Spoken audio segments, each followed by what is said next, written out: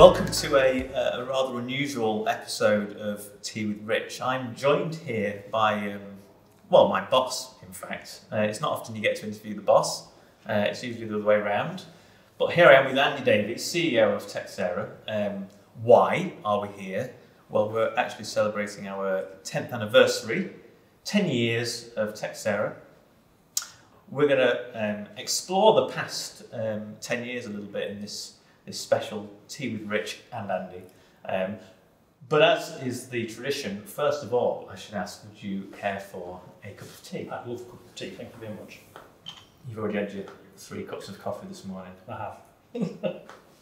So I suppose a, a good point to uh, to start the conversation really is what are the what are the best moments of the last ten years? What are the what are the highlights? Can you pick a, a supreme moment for uh, for I think it's first, isn't it? So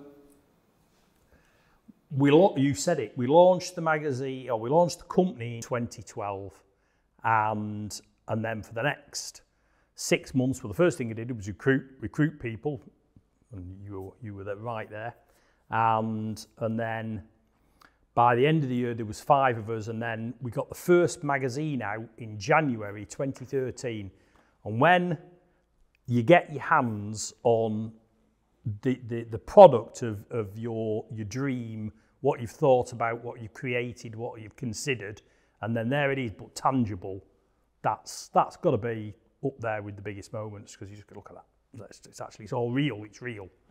And so, as, as we've said, this this year, 2022 is our 10th anniversary. So, what, what's your what's the major overriding emotion that you're that you're feeling as we, you know, everything is is 10 years of this, 10 years of that. What's what's your overriding emotion? Um, I, I just, I'm proud. I'm proud, particularly of the people.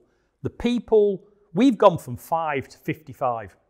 Number one, we've employed all of those people and provided, you know, a a family and a network and jobs for, for those people. We've, I think we've, I'm hoping we've, enjoyed, we've, we've provided some fun and a great place to be. But then we've gone into the market and we've provided a great um, vehicle for the for our readers to, to read, our contributors to, to get their content out and, and, and just do it a different way, be different to everybody else, which is what we've I think we've achieved.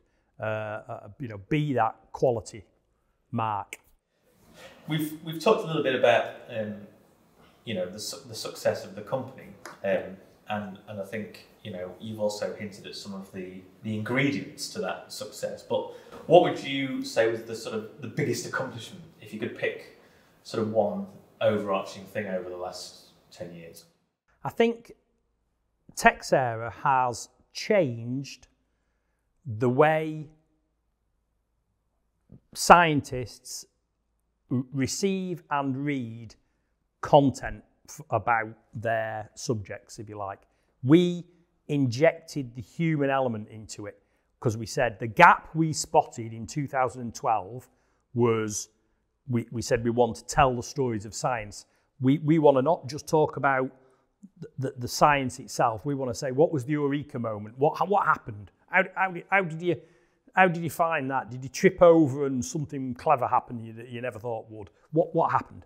And and when we talk about the the interesting human aspect of the industry and actually the people that work in the industry and demonstrate that this is a, a collective group of human beings who happen to be working science with the normal fun and the normal games that, that, that humans have.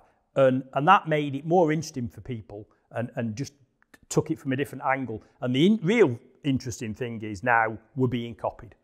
And, and the fact that we're being copied is probably indicative that we're doing something that other people are thinking we should have done that, and now they're trying to.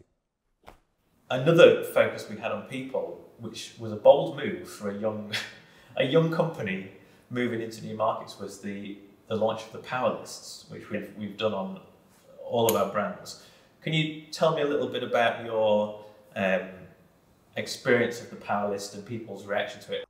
we launched the power list. We, we, we had this idea that it would be interesting to produce something for the sciences that, that looked at the various aspects, would be the top 100 or the top people under 40 or various other twists and turns that we've come up with. And, and, um, and it was really to just say, to, to help people strive to be, to be better and to really t- actually celebrate the people who really are, are extremely good at what they do and have and, and, and, are celebrated by their peers because this isn't this isn't us voting for this. This is going out to the scientists and saying, "Who do you think are the best?" And they and they come back and tell us.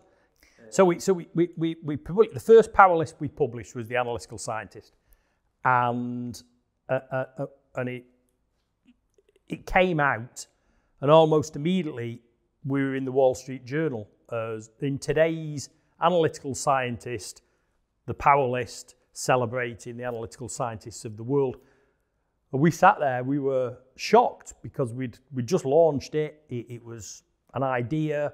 We thought it was kind of cool and it would be important. And it worked uh, to the point where the Wall Street Journal picked it up. We're celebrating the past 10 years. Yeah. Um, and I think giving thanks to our you know, our contributors, our partners, our readers. But it's also a time to look ahead to the next 10. Yeah. What does Texere have in store for, um, for the world? For the world. We constantly look at um, brands and products so that we can stay up to date. Uh, we've just launched the new optometrist uh, very recently. Uh, we have another brand, I can't tell you the name, but it's on the runway. We have a list of, of potential that we research. We, we bought URLs. We're always thinking what, what, what is the next important thing uh, to talk about. It's just trying to stay one step ahead and, and keep, on, keep on working. Oh, and having fun. no, don't forget the fun. Yeah, absolutely. Excellent. If you could, if you could say something to all of our, I suppose, extended family, our our partners, readers, contributors? Do you have a, a, a, single message that you'd like to to convey as we as we celebrate our tenth birthday? Well, the, the the the simple fact is we wouldn't be here without the extended family of readers, of contributors, of partners, sponsors so I would say thank you. Thank you for giving us a chance. Thank you for giving us that first chance in that first year and then continuing to stick with us through the years and helping us grow because we wouldn't we wouldn't be here now if it wasn't for the extended family. Well, thank you so much, Andy, for uh, for joining me for, for, for this episode of Tea with Rich. And perhaps you could perhaps you could do a, a top up. Thank you.